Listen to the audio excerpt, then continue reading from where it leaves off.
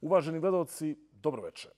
Emisija Okrugli sto na parlamentarnom kanalu večeras u posebnom formatu. Za razliku od ranijih emisija kada smo imali više gostiju, večeras samo jedan.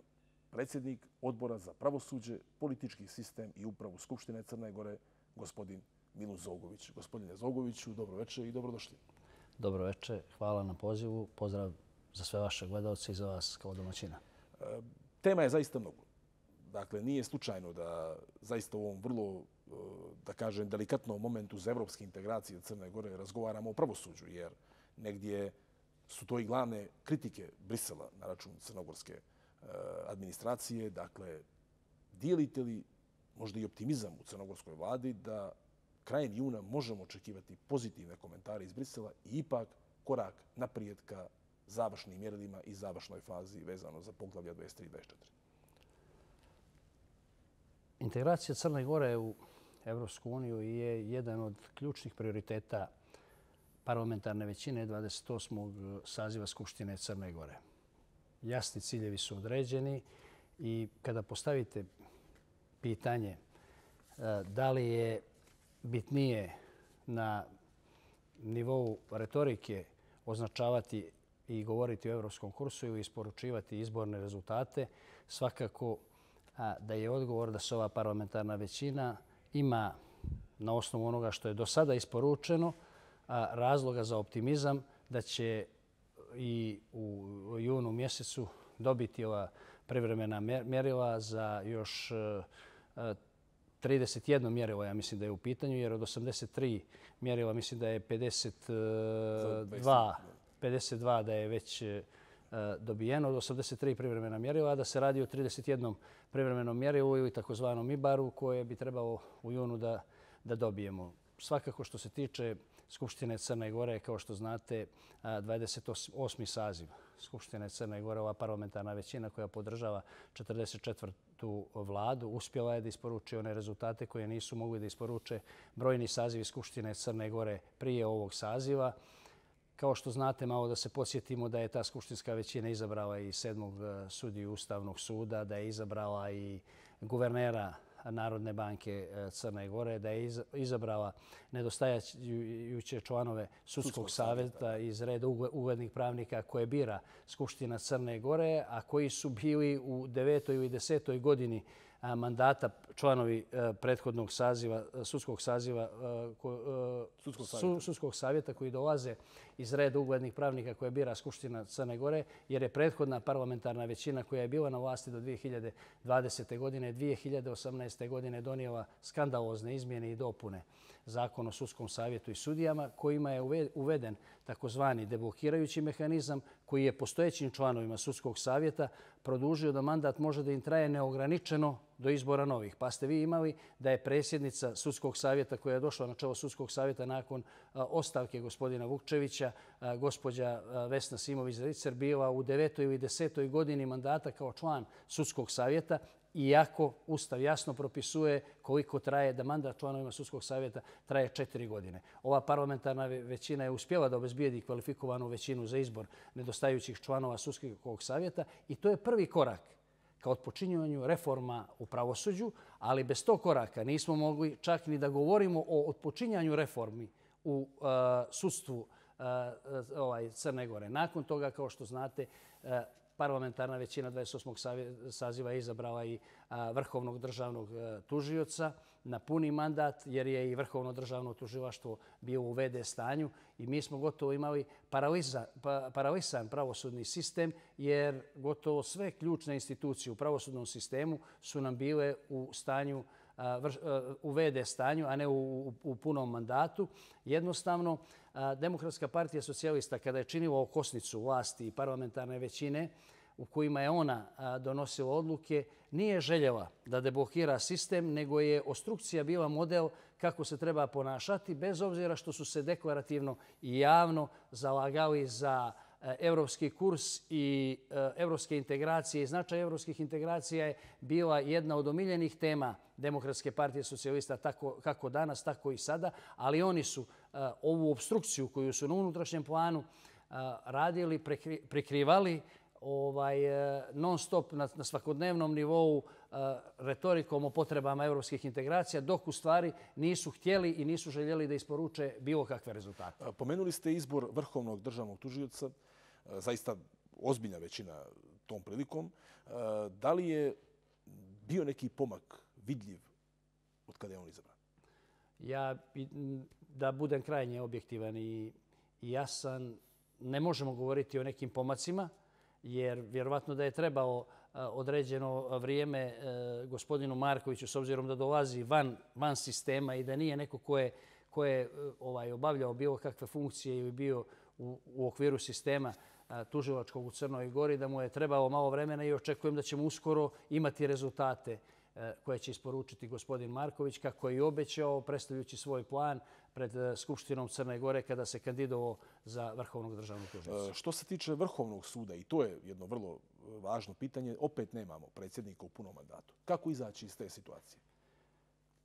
Tu se vidi jedan jasan neodgovoran odnos. Neće mi zamjeriti e, sudije Vrhovnog suda, ali neodgovorno je ako sudije e, Vrhovnog suda ne žele da izaberu predsjednika Vrhovnog suda. Kao što znate, u posljednjoj interaciji imali smo dva kandidata.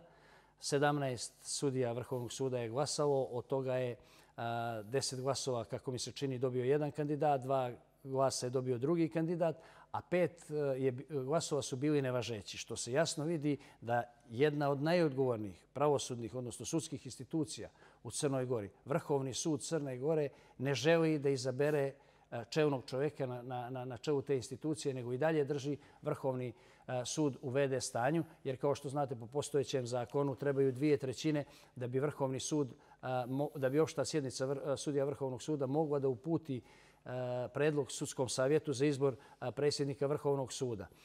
A što mislim da je isto problematično rešenje i da možda treba zakonopisac da u narednom periodu e, djeluje u tom dijelu, jer kao što znate, onda se članovima sudskog savjeta ostavlja samo mogućnost da potvrde odluku opšte sjednice Vrhovnog suda ili da je ne potvrde. Smatram da bi trebalo naći model da sudski savjet od sa sjednice Vrhovnog suda dobije više kandidata kako bi mogao da se odredi prema jednom kandidatu i kako bi e, to bio neki deblokirajući dakle, mehanizam koji nas ne bi više dovodio u slične situacije i najblaže rečeno neće bi zamjeriti e, sudije Vrhovnog suda, ali to se spolja kada se gleda tumači kao jedan neodgovoran odnos jer nemoguće je da u okviru sudija Vrhovnog suda ne postoji međusobno poverenje između njih samih da nekog ukažu poverenje da bude na čelu Vrhovnog suda. Kako onda mi građani da imamo poverenje u sudije koje treba da dijele pravdu u ime svih nas, jer im je država Crna Gora povjerila da oni dijele pravdu u naše ime, a oni nemaju međusobnog poverenja da kandiduju jedni druge za tako odgovornu, odgovornu funkciju. Kako onda građani da imaju poverenja u crnogorsko sustvo? Mada dijeli mišljenje oni koji kažu da je stepene poverenja u crnogorsko sudstvo potpuno opravdano na istorijskom minimumu. Inače, kad govorimo o sudovima, da li smatrate da je viši sud u Podgorici, koji je vrlo važan u čitavom sistemu borbe protiv kriminala i korupcije, pred kolapsom? Jer ovdje se govori o stotinama, neki kažu i hiljadama predmeta koji čekaju na e, procesuiranje. Vidjeli smo i aferu Tunel, vidjeli smo i da predsjednik suda sada planira da napusti tu funkciju čemu se tu radi? Evo, vi ste ovako vrlo vješto novinarski u jednom pitanju postavili, postavili više, više pitanja, ali da krenemo od, od, od kraja. Evo malo da, da ironično kažem, ako planiraju da kopaju tunel e, ti kriminalci i prema apelacijonom sudu, onda je opravdano da Boris Savić bude izabran za, za, za ovaj sudiju apelacijonog suda, jer kao kako se seća kompletna crnogorska javnost, sjećate se jedne potpuno neodgovorne izjave. Ne želim da mu imputiram bilo koju drugu vrstu odgovornosti, ali sjećate li se da je e, Boris Savić izjavio da ništa nije nestalo, parafraziram, iz depoa e, Ne, ja sam bio tu na toj konferenciji za novinara. Višeg, višeg suda. On je to rekao. I sad zamislite kada uh, predsjednik suda može da tvrdi tako bez ikakvog prethodnog informisanja, bez ikakvog bez ikakvog nadzora, kontrole, bez ičega, da kaže onako odjednom da, da on tvrdi da ništa. Pa šta, šta ćemo sad? Evo sad dobijamo informacije kako, kako su ne, stav, ne stavi e, neki dokazi iz, iz, iz depot e, tog suda. I prosto je nemoguće da je neko mogao da sprovede ovu akciju, takozvanu akciju tunel, bez pomoći unutar zgrade tog suda. A još, a još I ništa ne znam. ako minimum o kome moramo da govorimo i da budemo saglasni jeste čak, čak i ako nije bilo subjektivne odgovornosti, u što sumnjam, mislim da, da je objektivna odgovornost potpuno jasna i da starešina organa bilo kog, a ne jedne od, od eh, najviših sudskih instancij u Crnoj Gori, mora da snosi odgovornost za to što, što, što se desilo. A ne da bude unaprijeđen zbog toga što mu se desilo da u centar grada 50 metara od zgrade e, predsjednika Crne Gore, Skupštine Crne Gore, predsjednika e, vlade, e, vlade Crne Gore, Ustavnog suda, neko iskopa tunel i da to ne bude primijećeno, jer kao što znate, slušali smo mnogo priča šta je sve moglo da proiziđe iz te akcije i kakve su sve posljedice mogle da budu, da, da je čak neko mogao i da sprovede raznorazne terorističke akte, a da to zakazao je i bezbednostni sistem, ali zakazale su i institucije na čemu je bio, bio Boris Savić. Mislim da svakako da se mora iznaći neko rešenje da se ove posljedice saniraju, koje je u skladu, u skladu sa zakonom. Jednostavno, čuli smo mnoga mišljenja na tu temu, da li mogu ljudi koji se nalaze direktno u tim sudskim postupcima preko svojih zastupnika ili oni lično tražiti kao stranke ponovno vještačenje dokaza koji sad ne postoje, ali ti dokazi su već vještačeni, tako da Ne znam šta će biti krajnji ishod, ali svakako se mora naći način i rješenje da se to prevaziđe. Jedna ipak i, i, i samo, uh, možda i to zaista jeste u kontekstu raz, raz, razjašnjenja šta se zaista desilo, vrlo važno. Dakle, e, osnovno tužilaštvo u Podgorici, ne da nema informaciju, barem onoliko koliko mi kao javnost možemo da svedočimo, ko je iz suda pomagao počinjocima, nego su i oni koji su uhapšeni i oslobođeni. Kako to vidite? Jednostavno, e, onda osnovno državno tuživaštvo ne znam da li se bavi uopšte pitanjem, da li je neko unutar zgrade višeg suda bio saučesnik sa ovima koji su, koji su e, kopali tunel. Ako nije, onda je to skandalozno. Da. E, što se tiče, e, kada smo kod višeg suda, jedne presude vezane za slučaj poznat kao državni udar, koja je ovdje izazvala, naravno, ne samo ovdje, nego i generalno veliku pažnju, e, ta izjava da je ta presuda kupljena e, je bila vrlo vrlo medijski ispraćena. Suzana Mugoša je na odboru, vi ste bili predsjednik, E, kazala da smatra da je u sve to prste miješa i neki ambasador. Ništa ne znamo definitivno. Ne znamo ni da li tužilaštvo nešto provjerava po tom pitanju. Kakve su vaše informacije i smatrate li da je ova disciplinska mjera izrečena Suzani Mugoši dovoljna? Slučaj takozvanog e, pokušaja u terorizmu ili narodski rečeno e, državnog udara opterećuje kompletnu crnogorsku javnost već duže od sedam godina. I kao što znate, e, očekivano je da sve ono što je negdje jasno kompletnoj naciji, svim onima koji su mogli na sreću da prate tu, tu živačko, političko, kriminalno, sudsku farsu preko malih ekrana, svi su mogli da na osnovu onoga što su vidjeli, donesu neki stavi da steknu neki utisak o tom montiranom e, sudskom procesu. Na dan kada je pohapsio takozvane teroriste iz Srbije, specijalni državni tuživac, tadašnji specijalni državni tuživac Milivoje Katnić, parazifrazirat ću, neću citirati, je izjavio da su ti teroristi trebali da u uniformama policije Crne Gore uđu u zgradu Skupštine Crne Gore i da uhapse gospodina Mila Đukanovića, tadašnjeg presjednika Crne Gore. Presjednika vlade Crne Gore? Uh, ne, ne. U tom, u tom momentu je gospodin Đukanović... 2016. je to, a on je 18. Pre, presjednik, presjednik uh, vlade Crne Gore da, u tom momentu da, da, Milo Đukanović. Rekao sam da je, izvinjam se, izvinjam se za, za, za lapsus. Nebitno. Kontekst je jasan. Znači, presjednika vlade Crne Gore, gospodina, gospodina Mila Đukanovića. Vama je, gospodine Vešoviću, dobro poznato na koji način premijer dolazi u zgradu Skupštine isključivo na poziv predsjednika parlamenta. I zbog čega bi se u nedelju, kada se održavaju izborni dan, kada svi politički akteri provode vrijeme u svojim štabovima dobijajući informacije sa, sa terena i prateći izborni dan, predsjednik vlade Crne Gore, bez poziva predsjednika Skupštine, našao u zgradu Skupštine Crne Gore. Mislim, to je, e, to je, to je prva nebuloza, a onda da, da ne govorimo dalje o nepostojećem oružju koje je potopljeno u jezeru na teritoriji treće države i tu imamo još jedan veliki skandal gdje tadašnji specijalni državni tuživac gospodin Milivoje Katnić daje obavezujuće upustvo zaštićenom svedoku Mirku Velimiroviću da potopi oružje na teritoriji druge države. Dok je e, pravljena farsa o nepostojećem oružju na teritoriji druge države, reversom iz magazina Ministarstva unutrašnjih poslova Crne Gore iznajmljene su automatske puške i odnošene u jednu kuću na stari aerodrom koja je u vlasništvu policijskog inspektora i to je u stvari bilo oružje koje je trebalo da bude podmetnuto uz sve ostalo onima koji su obtuženi za lažni, lažni državni udar u, u, u Crnoj Gori.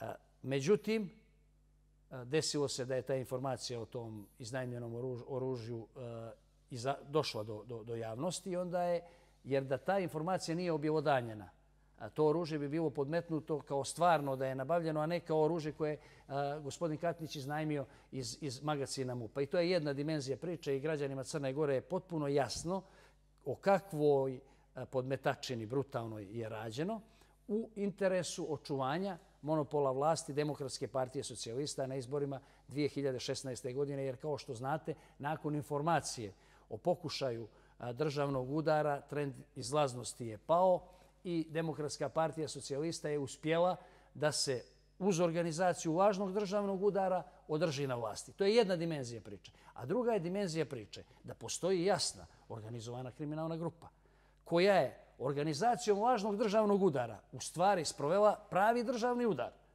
A da niko iz te organizovane kriminalne grupe koju su činili e, određeni dijelovi našeg e, crnogorskog tužilaštva, određeni dijelovi crnogorskog sustva, određeni dijelovi uprave policije, određeni dijelovi izvršne vlasti, jer kao što znate, e, tadašnji ministar pravde, gospodin Pažin, bio je izuzetno inkorporiran u organizaciju tog događaja, jer prema svjedočenju advokata Eh, Josef Asada, Tobi Kedmena, on, on je dolazio par puta na razgovore sa Zoranom Pažinom gdje su mu nuđena instruisana pitanje i odgovori za Josef Asada koji je trebao da, da okrivi lažno eh, ljude koji su bili već eh, procesuirani pod lažnim optužbama za takozvani pokušaj terorizma i on je to odbio da uradi. I tu je jasno i evidentno da je Saša Čađenović, Milivoje Katnić i tadašnji ministar pravde Zoran Pažin željeli su da dostave čovjeku istruisana pitanje i odgovore na način kako bi dodali novu energiju i vazduh tom slučaju jer je kompletno javno mjenje shvatilo da se radi o brutalnoj podmetačini. I ja da vam kažem jednu stvar. Tek nakon promjene, tek nakon promjene, promjene vlasti prestao je da se frizira i da se dodaje dodatna energija i da se krivotvori ono što su činjenice i da se traži nova dokazna građa za tu podmetačinu. Inače, sve do 2020. godine davana je nova energija, traženi su novi dokazi. Možete zamisliti kada osvjedočeni ubica kome je mijenjan identitet u Crnoj Gori, da on ne bi bio izručen Hrvatskoj, Saša Sinđević je glavno dokazno sredstvo i potvrda da se spremava neka organizacija. I još jedna stvar koja je paradoks u čitavoj priči. Onima koji su organizovali te kriminalne e, e, aktivnosti, lažno, e, koje su kao u optužnici, e, e, dokazi da je postojala organizovana kriminalna grupa koja organizuje kriminalne aktivnosti i ostalo. Saši Čađenoviću i, Čađenoviću i Mirku Velimiroviću, koji su organizatori te kriminalne grupe. dati status status svedoka saradnika. A zna se da zakon propisuje da onaj koji je organizator ne može da bude saradnik. A, to su teške optužbe, posebno na račun bivšeg glavnog specijalnog tužioca. Jeste li ikad obavijestili gospodina Novovića u nekoj formi o vašim sumnjama da je zapravo kriminalna grupa izvela državni udar 2016.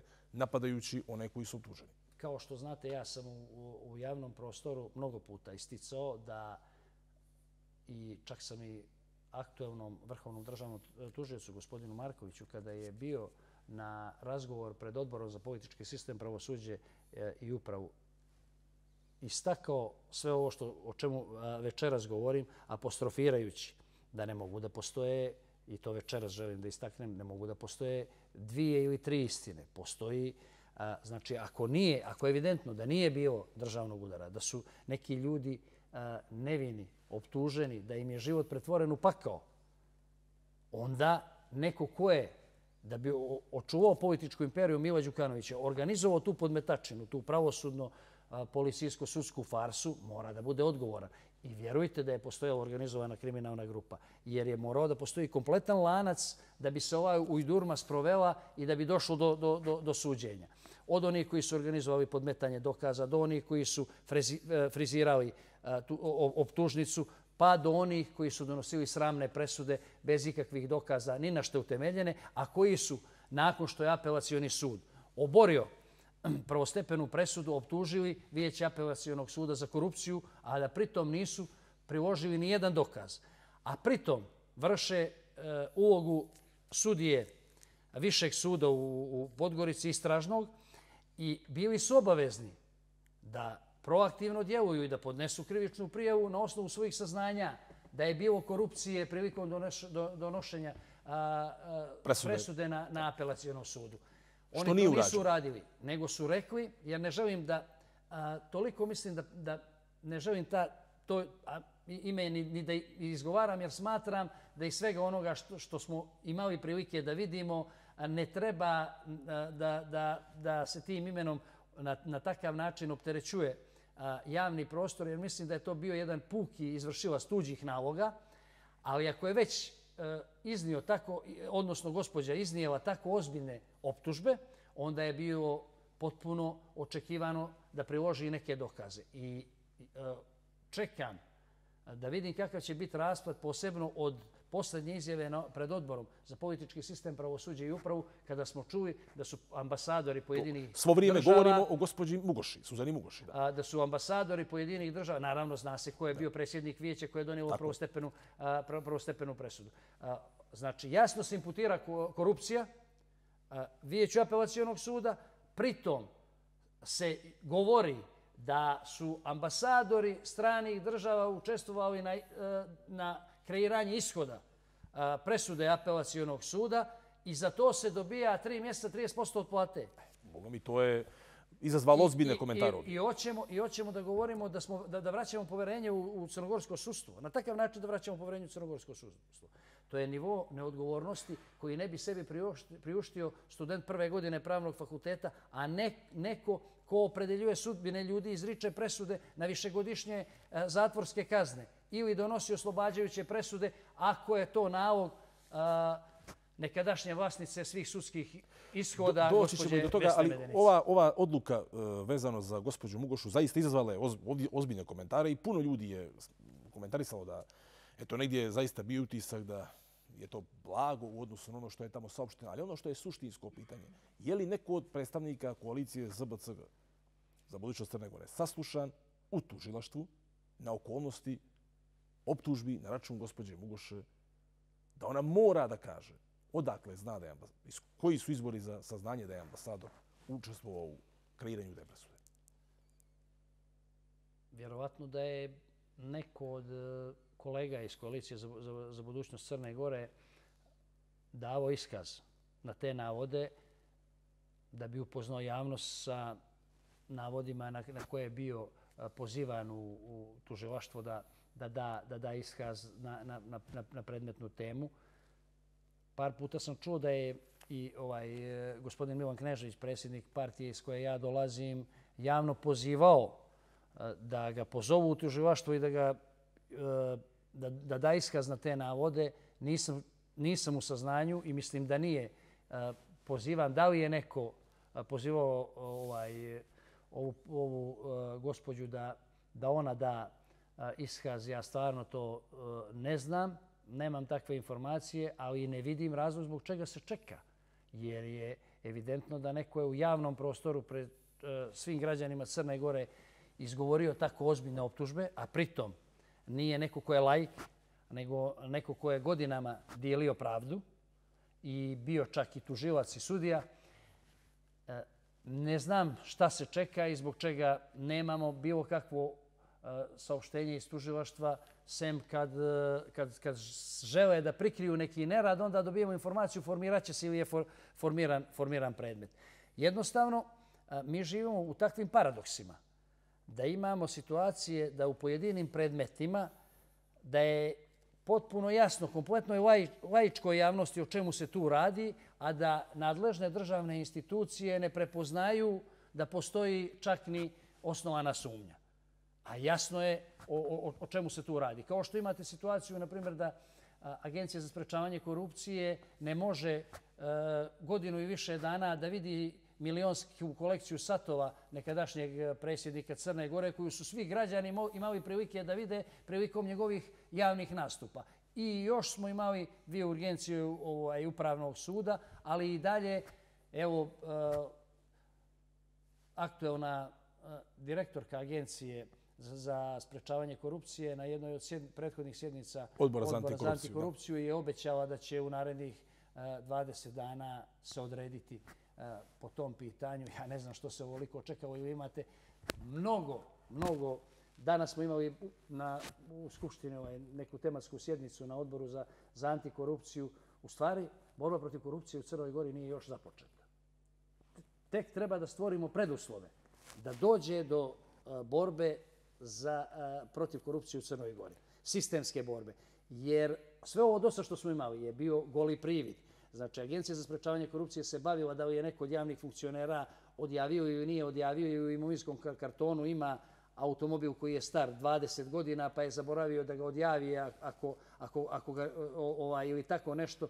To su, imali smo potpuno fingiranu borbu protiv korupcije u prethodnom periodu jer je korupcija tokom vladavine Demokratske partije socijalista bilo domaćena sistemska pojava i kompletan sistem je počivao na toj najvećoj pošasti koja, najvećoj počasti koja, pošasti koja se zove korupcija. E, s obzirom da je najavljen e, izbor e, novog savjeta Agencije za sprečavanje korupcije, da li bi bilo logično preispitati mandati gospođe Perović u svijetlu svih optužbi koje čujemo, koje su vrlo ozbiljne? Evo i vi ste neke od njih ovdje pomenuli, ali smo i na odboru i drugdje u javnosti čuli zaista da se radi o vrlo ozbiljnim optužbama, ona je to odbacila, ali bez obzira, da li mislite da njen mandat ističe, čini mi se na ljetu iduće godine, ali bez obzira, da li bi moglo se govoriti o izboru novog direktora prije tokom ove godine? A, naravno da bi, iako je ovaj e, zakon o sprečavanju korupcije predviđeno da, da bukvalno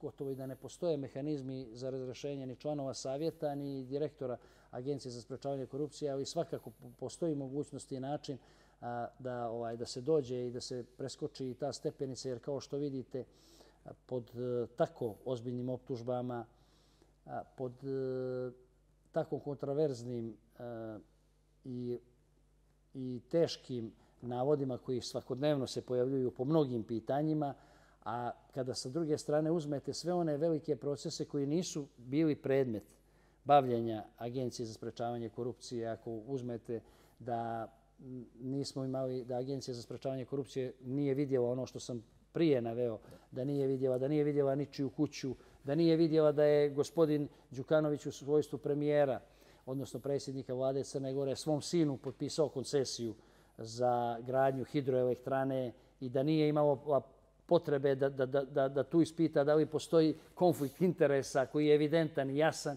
i nema e, eksplicitnijeg primjera konflikta interesa nego da predsjednik vlade svom sinu potpisuje koncesiju za izgradnju e, hidroelektrane. I kada vidite sve te navode, potpuno je logično da novi savjet Agencije za sprečavanje korupcije stvori elementarne preduslove za odpočinjanje borbe protiv korupcije. Ne za simulaciju kao što je to do sad bilo, nego za odpočinjanje borbe protiv korupcije, a mislim da bi jedan od prvih koraka u tom cilju svakako bio i izbor novog direktora Agencije za sprečavanje. Samo da, da ne ostane e, i to, e, dakle, da nismo pomenuli, ja mislim da je vrlo važno. Imali smo vezano za slučaj državni udar, to je e, nedavno objavljeno svedočenje, novo svedočenje Mirka Velimirovića, što je također vrlo ispraćeno u našoj javnosti gospodin Velimirović sada mijenja priču i optužuje gospodina Katnića za pritisak i za pokušaj zastrašivanja kako bi njegovo svedočenje bilo upodobljeno njegovim interesima. Da li je iko reagovao?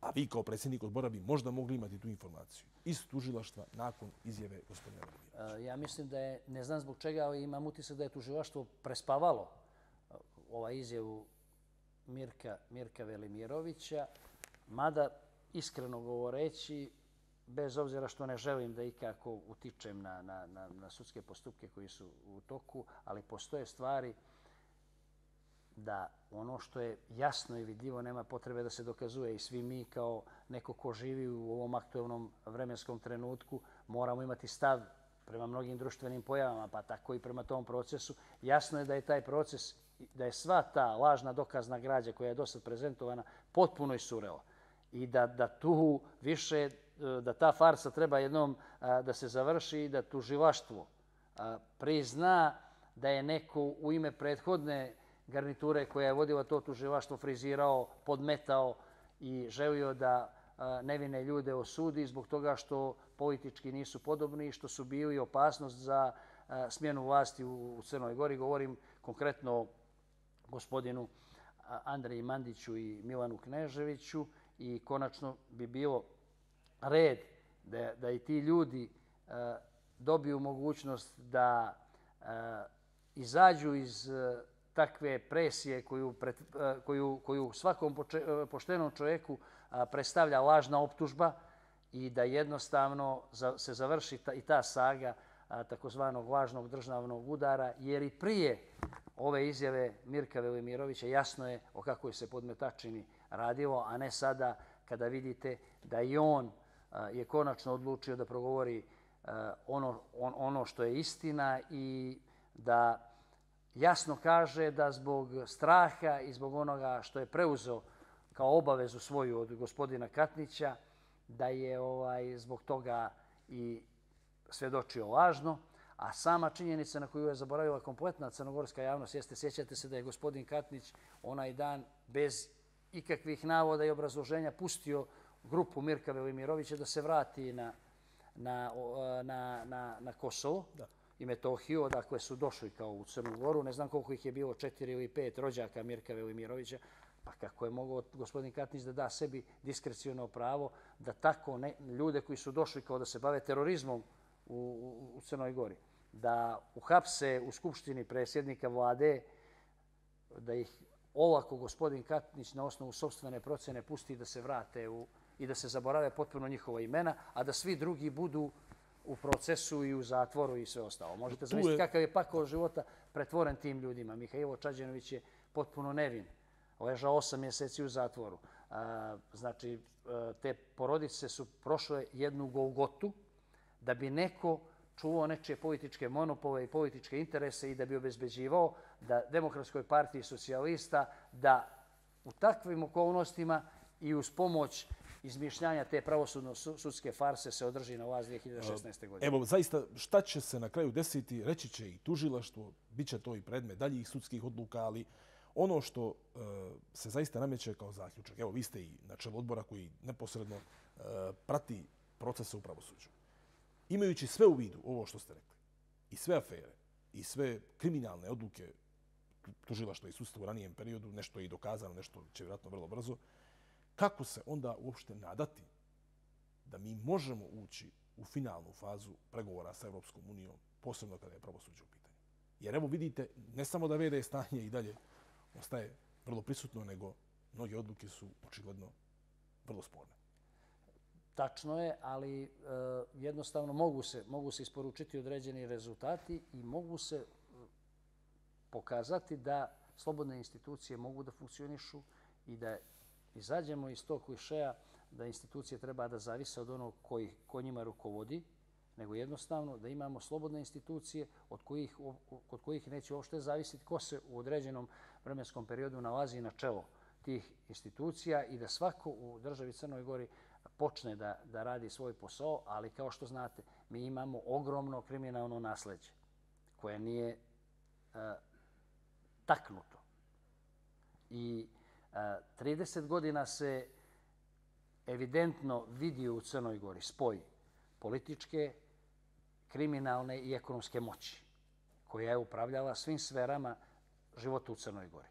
I konačno smatram da moramo da stvorimo jake pravosudne institucije koje mogu da se obračunaju sa tim, sa tim nasledđem. Kao što znate, ja sam 1997. godine, jako mlad, bio član e, tadašnjeg zajedničkog DPS-a.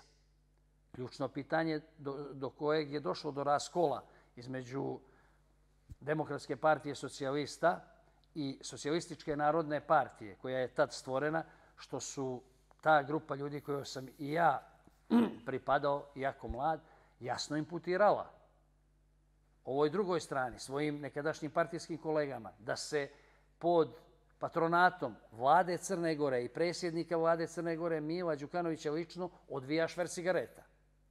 I to je bio prvi moment do kojeg je došlo i ključni moment do kojeg je došlo do raskola u okviru tada jedinstvenog DPS-a. Kao što znate, te poslove a, koje je pod okrivljem vlade Crne Gore i Đukanovića lično, šverca cigareta, o, o, koji su se tada ob, o, obavljali, targetirali su i nadležne tuživačke organizacije države Italije, pa je vođen tamo neki postupak, pa je u Skupštini formiran anketni odbor 2001. godine. Nakon toga, iz tog jednog klana, koji je pod okriljem države Crne Gore otpočeo i šverc cigareta, stvorila su se dva kriminalna klana kasnije, takozvani Mojkovački klan i Grandov klan. Smatram i ohrabrujem da kada govorimo i kada želimo da, raskr da, da raskrstimo sa kriminalnim nasledđem iz prošlosti, moramo da krenemo od početka, od samog izvora. I zbog toga želim i večeras da apostrofiram i da podržim inicijativu koju je iznio uh, uvaženi kolega Jovan Jole uh, Vučurović, da treba pokrenuti anketni odbor oko sedme uprave, zloglasne sedme uprave uh, E, državne bezbjednosti, kao i da dodatno afirmišem stav e, predsjednika Skupštine Crne Gore, gospodina Andrije Mandića, koji je jasno rekao da treba razmisliti da se u narednom periodu formira anketni odbor koji bi se bavio ovaj aferom e, ubistva nekadašnjeg ministra policije i saveznog ministra odbrane gospodina Pavla Bovatovića. Ali smo ujedno i mi unutar koalicije za budućnost Crne Gore dogovorili se sa, sa svojim kolegama iz Nove Srpske demokratije uh, da pokrenemo jedno kontrolno saslušanje, zajedničko kontrolno saslušanje koje bi organizovali odbor za bezbjednost, i odbor za politički sistem pravosuđa i upravu. Koja bi bila tema? Tema bi bila obstrukcije bezbednostnog sektora u istrazi ubistva Pavla Bulatovića, gdje bi mi pozvali ministra odbrane, ministra unutrašnjih poslova, direktora uprave policije, direktora agencije za nacionalnu bezbjednost, koji i dali im neki preliminarni rok od mjesec dana da nam dostave potpune, potrebne informacije, a onda organizovali to kontrolno saslušanje, gdje bi se jasno vidjelo kakva je bila uloga obstrukciona bezbjednostnog sektora države Crne Gore u istrazi ubistva e, gospodina šta, Pavla Bulatovića. A pritom, a pritom, zaboravio sam i ovo da kažem, pritom tu na, na, na, na tom saslušanju koji bi se organizovao, koji bi organizovala ova dva odbora, bio bi pozvan i vrhovni državni tužilac, gospodin Marković, a tražili bismo i da nam anketni odbor koji je organizovala Savezna skupština iz arhive Savezne skupštine dostavi građu od oko hiljadu stranica, predmetnu građu, i rad anketnog odbora a, a, oko ubistva tadašnjeg ministra odbrane gospodina Pavla Bovatovića. I ja mislim da nakon tog kontralnog saslušanja da bi morale određene institucije da krenu da rade svoj posao i da krenemo od početka kako ne bi dozvolili Izvinjavam se, samo da ne namestim ovaj mikrofon pao. Kako ne bi dozvolili da bilo ko izbjegne pravdu i odgovornost i da vidimo kakva je bila uh, svačija uloga u prošlosti i da građani Crne Gore na tako ozbiljna pitanja dobiju odgovore, isto smatram i za ubistvo gospodina Duška Jovanovića, glavnog i odgovornog urednika dana, tu gospodina Slavoljuba Šćekića. Tu se već 20 godina od tog nerazjašnjenog ubistva. Posebna je to tema. Ali ono što, što sam htio, dakle, vi ste e, pomenuli mogućnost tog kontrolnog saslušanja. E, nemogućnost, nego da ćemo, da ćemo uskoro procesuirati inicijativu i da ćemo tražiti od, od svojih kolega iz parlamentarne većine da podrže jednu ovakvu inicijativu i jedno ovakvo kontrolno saslušanje, jer bi mogli egzaktno da dobijemo informacije. E, dobro. Dakle, ja sam... O, znači, jeste, jesam, jesam istako, jasno, jasno, znači, obstrukcija bezbednostnog sektora. Jasno je to. Ja sam... U istrazi ubistva saveznog ministra odbrane i ministra unutrašnjih poslova Crne Gore, nekadašnjeg Pavla Bulatovića. Ja sam pročitao ranije izvještaj anketnog odbora Savezne skupštine. On je zaista vrlo obiman, ali bilo je tu čudno zašto Crnogorska e, služba državne bezbjednosti ne saopštava nikakve informacije. Zaista jeste to nešto što ovako upada u oči. Ali opet to je ubistvo koje se desilo u drugoj državi. Čemu se nadati koje nove činjenice mogu da se eventualno kroz jedan takav postupak e, pojave koje bi mogle biti pokazatelj za neka buduća potpuno, postupanja? Potpuno. Uh, upravo, upravo ovo pitanje koje, koje ste sad uh, ovaj postavili uh, potvrđuje procenu onih da spadate u, u ovaj red najvisprenih novinara u, u, Crnoj, u Crnoj Gori, gospodine Vešoviću, jer ste pravo pogodili u, u centar. Upravo da bi organi druge države mogli da, da, da se bave ponovo tom temom, dobit će neke informacije koje do sada nisu bile javno prezentovane. Upravo zbog tih obstrukcionih monopola u sektoru bezbjednosti, koji nisu dozvoljavali da se istraga usmjeri u pravom pravcu. I na osnovu toga što će biti prezentovano javno kroz to kontrolno saslušanje, a nadležne institucije i države Crne Gore i države Srbije će morat da preduzmu određene mjere.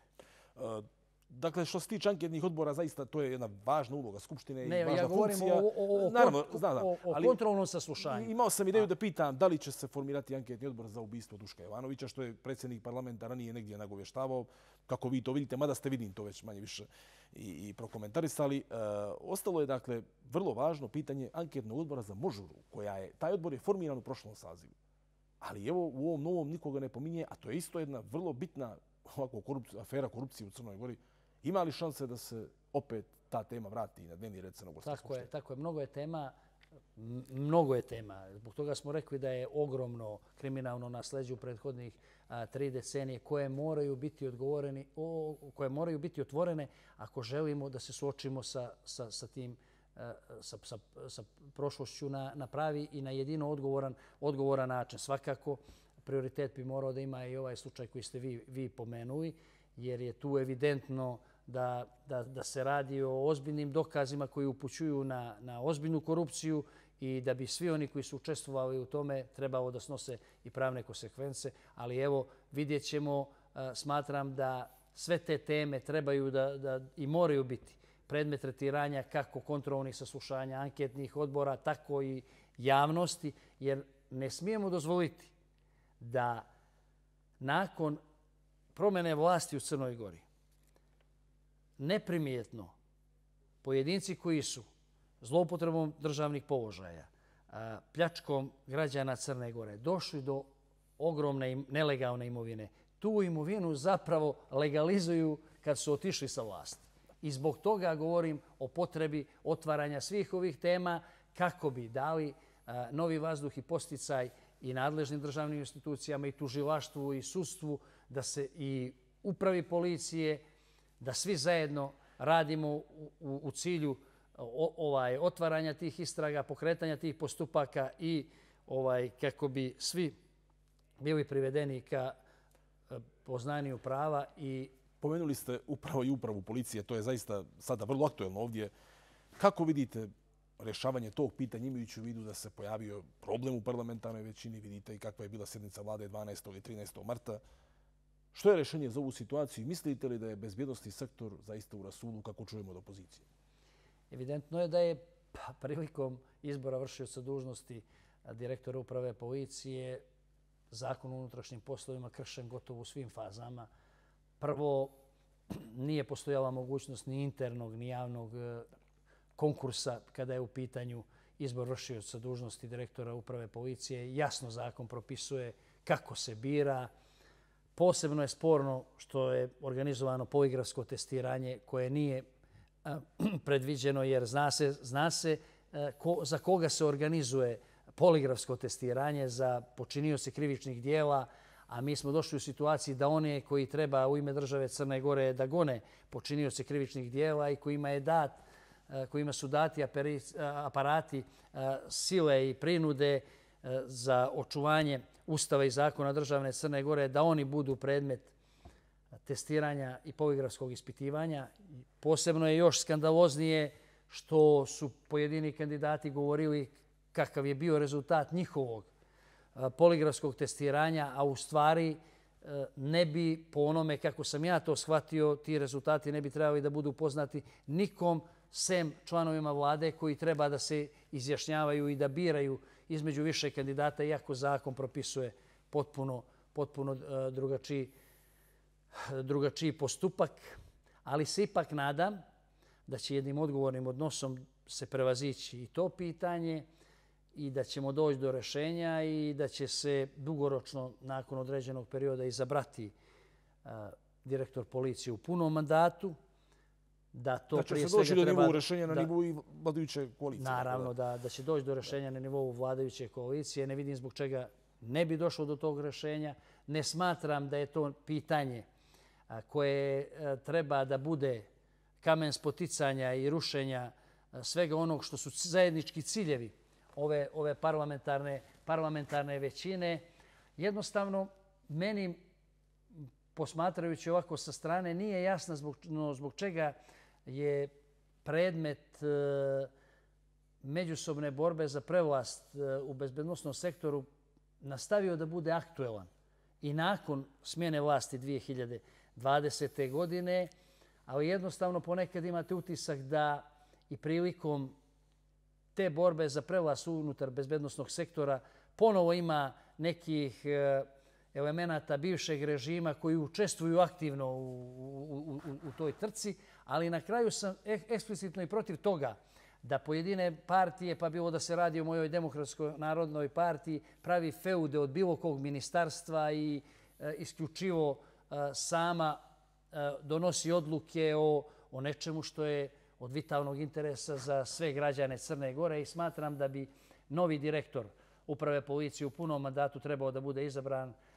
kompromisom između svih članova parlamentarne većine koji podržavaju 44. vladu Crne Gore kako ne bismo imali prostora ni za međusobne optužbe, ni za bilo kakve šumove i kako bi pokazali jasnu političku volju da želimo profesionalca na čelu uprave policije.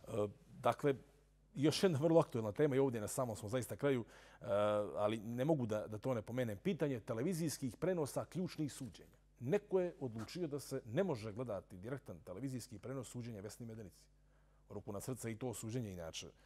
Ovako kaska, ali ročišta se održavaju, nemamo direktan TV prenos, nemamo ni za Blaža Jovanića, nećemo imati vjerojatno ni za Kavački klan i Radoja Zvicara. Je li vi kao predsjednik odbora mislite da je to dobra praksa? Šta se tu krije od crnogorskih građana? Zašto to ne možemo da gledamo? Naravno da mislim da nije. Nisam upoznat sa, sa svom tom problematikom dublje da bi mogao, da bi mogao konciznije da govorim na tu temu, ali ovako na, na prvu odgovor na, na vaše, moj odgovor na vaše pitanje je da svakako treba da radimo na, na transparentnosti i nekih mnogo manje značajnih pitanja nego što su ova koja ste vi naveli i da bi svakako trebalo otvoriti za javnost i ta suđenja u skladu sa onim što propisuje zakon i u skladu sa onim što može da bude e, javno i dostupno e, svim građanima Crne Gore. Treba li Crnoj Gori specijalni sud za borbu protiv organizovanog kriminala, kao što evo aktuelni ministar pravde negdje i to i predlaže?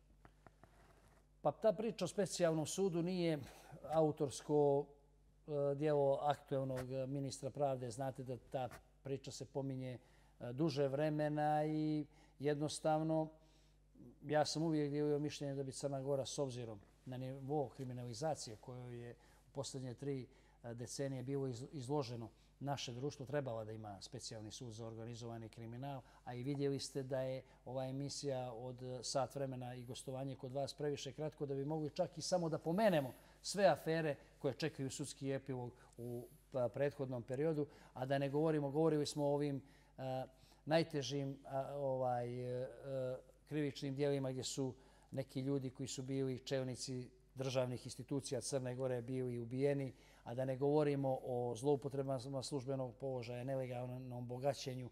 I apsolutno na čemu bi trebali svi kao parlamentarna većina da radimo jeste da nam je neophodan zakon o imovini javnih e, funkcionera i to novi zakon, a ne izmene i dopune postojećeg e, zakona koji je, čiji autor bio e, Zoran, Zoran Pažin, kako bi jednostavno na osnovu onoga što su legalni prihodi javnog funkcionera ili bilo koga i njegova imovina mogao da se otkrije i da bude je i lako vidljiv imovinski, imovinski.